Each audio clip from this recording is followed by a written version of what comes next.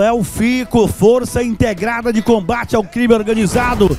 Lá em Paraíba, cumprindo 10 mandados judiciais de busca e apreensão com o objetivo de combater tráfico de drogas e associação criminosa. Agora sim, Verônica Costa, no Prumo, para dar informação para você. Boa tarde, Verônica, tá com você.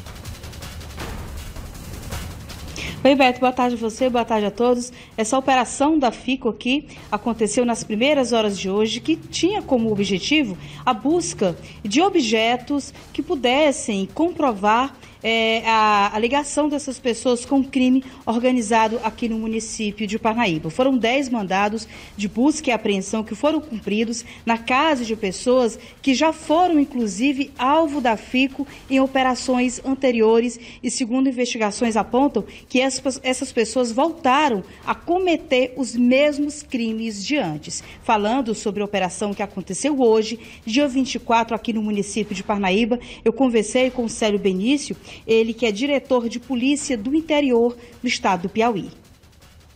Foram arrecadados vários é, elementos de, de, informação, serão é, analisados por toda a, a equipe que é, toma conta dessa operação, pessoas ligadas a células de facções criminosas que tentam se instalar em, em Parnaíba, especificamente esse caso é, indivíduos é, envolvidos no mundo do crime que tentaram invadir é, um residencial aqui na, na cidade de Parnaíba, aqui no litoral, o que também um menor foi apreendido. É, em desfavor desse menor é, constam várias apurações de atos infracionais, até mesmo atos infracionais equiparados ao homicídio. A medida cautelar de busca e apreensão ela tem esse objetivo, tá? de angariar provas para que no conjunto da investigação se comprove tecnicamente que aqueles indivíduos é, estariam envolvidos com o crime, assim sejam indiciados e respondam ao processo na justiça perante o Poder Judiciário. Tivemos 11 alvos hoje que foram objetos de busca e apreensão.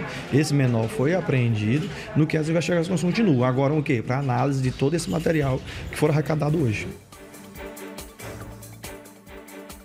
Bom, como você viu, essa operação ela cumpriu esses mandados de busca e apreensão e foi instaurado também esse inquérito para apurar essas invasões que estão acontecendo em apartamentos no residencial Dunas. Como é que funciona? A pessoa foi contemplada é, quando houve essa distribuição de apartamentos aqui pelo Minha Casa Minha Vida e muitas pessoas não moram lá possuem o apartamento, às vezes alugam, ou moravam e saíram e deixaram o apartamento fechado.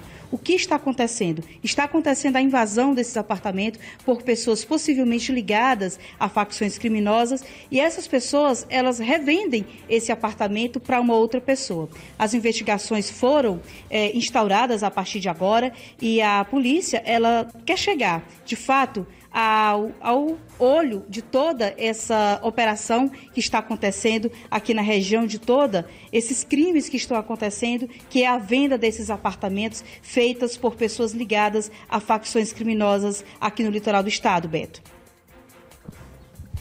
Tá bom, muito obrigado, muito obrigado.